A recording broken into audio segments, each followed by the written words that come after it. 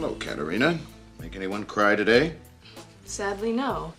But it's only 4.30. Welcome to Ms. Mojo, and today we're counting down our picks for the top 10 savage moments in teen movies. I haven't looked at that in forever. Here, check it out, Cady. It's our burn book. For this list, we'll be looking at characters' sassiest, harshest, and most cutting lines and actions in films geared towards adolescents. Some plot points will be discussed, so a mild spoiler alert is in effect. Which of these burns had you reaching for a cold compress? Let us know in the comments. Number 10. A blistering speech. 17 again. High school can be rough, especially if you have to deal with an arrogant kid who constantly picks on others.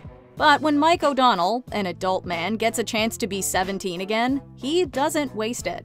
What are you gonna do?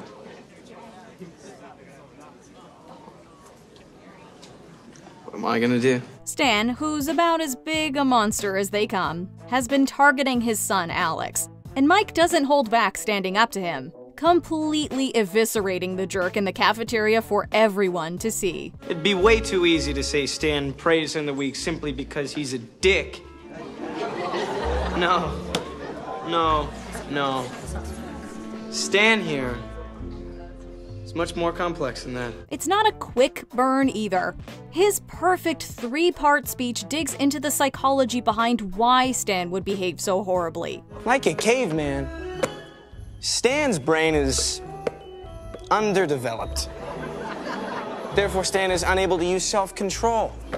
And so he acts out aggressively. From his mental capacity to his physical endowments, there is no part of Stan that Mike doesn't scorch. Those smooth basketball moves throughout just add to the humiliation, and we are here for it. Don't hurt yourself, big boy. Number 9. Olive's abominable comeback. Easy A. Academic discussions don't always get heated, but when they do and things get personal, it's best to watch your back. When Olive pretends to have lost her V card, the story spreads around school, prompting judgment from people like Nina. Perhaps you should embroider a red A on your wardrobe, you abominable tramp. The class discussion of the Scarlet Letter unfortunately opened the door for Nina to make her disapproval crystal clear.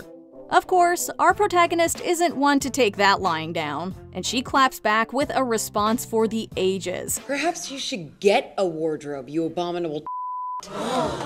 Talk about putting someone in their place. As fans of the movie know, Olive ends up actually taking Nina's advice later on and completely owning it, which makes this moment even better. Number 8. Kat takes a stand. 10 things I hate about you. Kat Stratford isn't one to conform, which is a huge part of why we love her so much.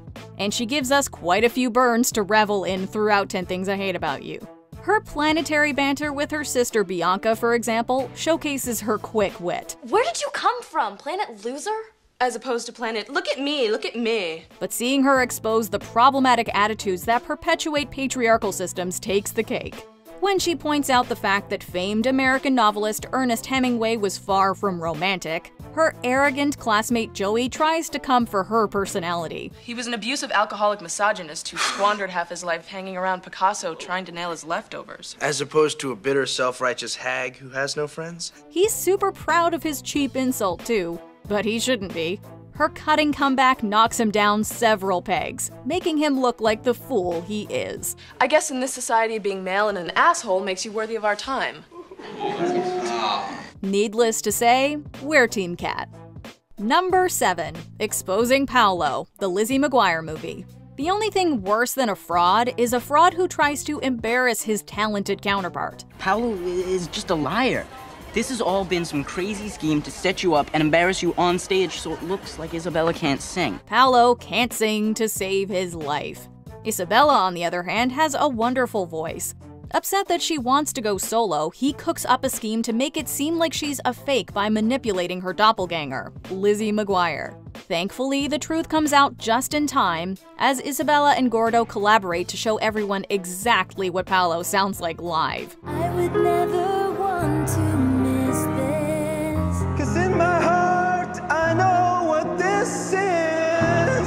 It's astoundingly ruthless, but he deserves it. She then steps onto the stage, viciously delivering four loaded words in front of the packed audience. This is what dreams are made of. Sing to me, Paolo. This is what dreams are made of. You could say that this is the merciless moment dreams are made of. Number 6. Good riddance. Bring it on. It's safe to say that there are a lot of bad movie boyfriends out there. Torrance's beau, Aaron, in Bring It On, is undoubtedly among the worst offenders. He doesn't believe that she can be a stellar cheer captain, and he lets her know it. You're a great cheerleader, Tor, and you're cute as hell. It's just that maybe.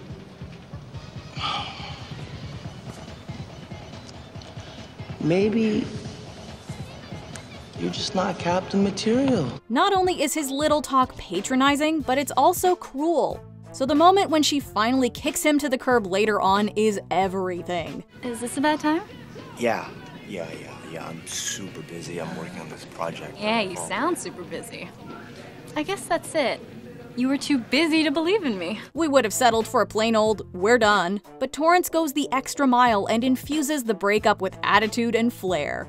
She takes Aaron's own words, modifies them for the occasion, and masterfully uses them against him. You're a great cheerleader, Aaron. It's just that maybe you're not exactly boyfriend material. Bye bye. Her wave goodbye is just the cherry on top of the fierce cake. Number 5. No inner beauty. She's the man. You know how they say it's what's on the inside that counts? You're hot, Monique. Smoking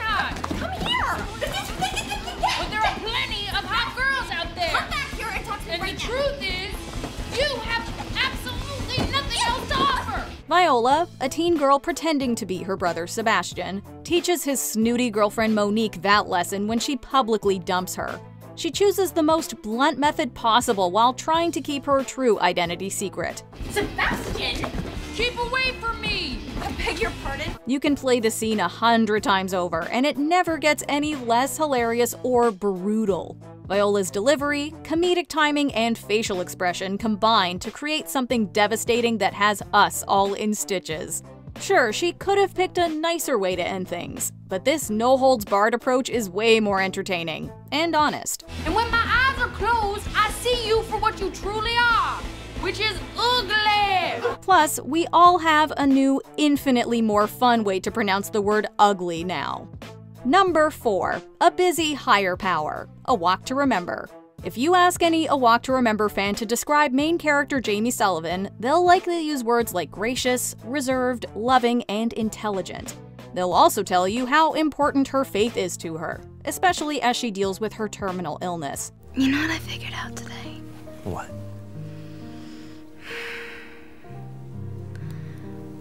Maybe God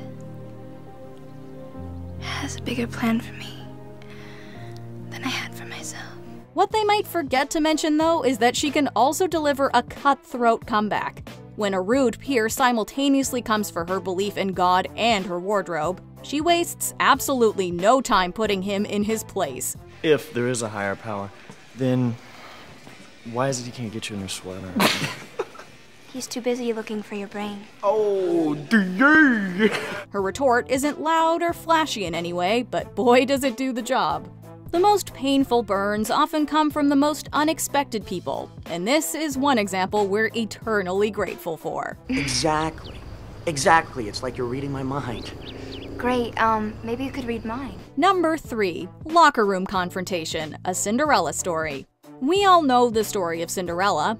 In this modern retelling, protagonist Sam puts up with a lot of mean spirited comments and behaviors.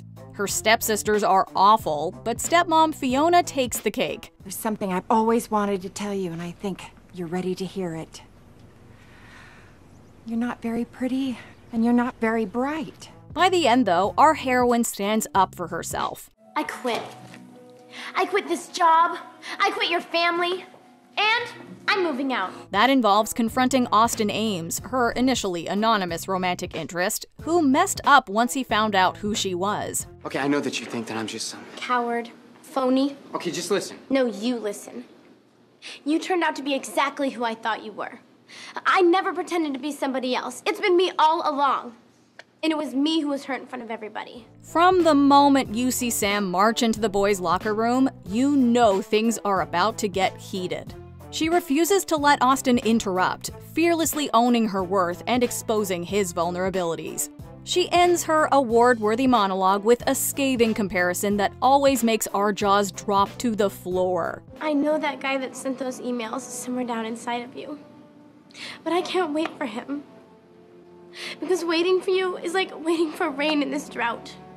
Useless and disappointing. You go, girl. Number 2. All of Damian's quips. Mean Girls. When Cady starts attending North Shore High School, two students take her under their wing. One of them, Janis, has her fair share of sassy moments. Nice wig, Janis. What's it made of? Your mom's chest hair. But it's the other, Damian, who exemplifies what being a savage is all about. And we mean that in the best way. He gives us one biting and quotable remark after another, and each one is utterly diabolical. Hey, get out of here! Oh my god, Danny DeVito, I love your work! From his ingenious exchange in the girls' bathroom to his unforgettable candy cane delivery, Damian absolutely owns whenever he's on screen. We'd also be remiss not to mention the way he harshly calls out that poor, sad girl at the assembly he isn't technically supposed to be attending. She doesn't even go here! That's an icon if we've ever seen one. Before we unveil our top pick, here are a few honorable mentions. Annette's Revenge, Cruel Intentions. Watching Kathryn get what she deserves is insanely rewarding.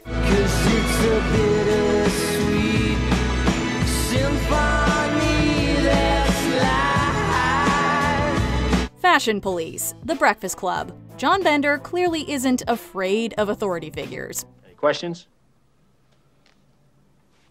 Yeah, I got a question.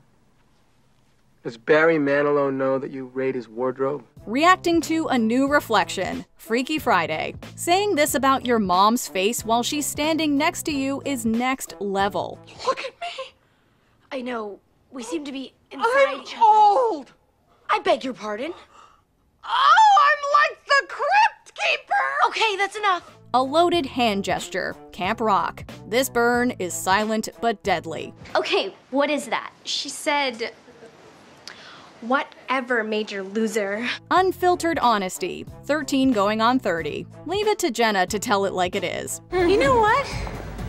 You are rude and mean and sloppy and frizzy. I don't like you at all. Before we continue, be sure to subscribe to our channel and ring the bell to get notified about our latest videos. You have the option to be notified for occasional videos or all of them. If you're on your phone, make sure you go into your settings and switch on notifications. Number 1. Tai gets harsh. Clueless. A lot of savage comments in teen movies are well deserved or tinged with humor, but this one is downright cold. When Cher expresses her belief that Tai and Josh might not be a romantic match, her friend doesn't take it well at all. What, I'm not good enough for Josh or something? I, I just don't think you mesh well together. She could engage in a productive conversation or walk away to avoid making things more awkward, but no. Instead, Tai crosses a major line, uttering a ferocious phrase and metaphorically hitting Cher exactly where it hurts. I was like, why am I even listening to you to begin with? You're a virgin who can't drive. Her unsympathetic expression only makes the dig feel more heartless and leaves us speechless every time. The pain on Cher's face is visible, and her response says it all. Oh, that was way harsh, Tai. Look, I'm really sorry. Let's just talk when we've mellowed, alright? We're not exaggerating when we say you could cut the tension here with a knife. Do you agree with our picks? Check out this other recent clip from Ms. Mojo. And be sure to subscribe and ring the bell to be notified about our latest videos.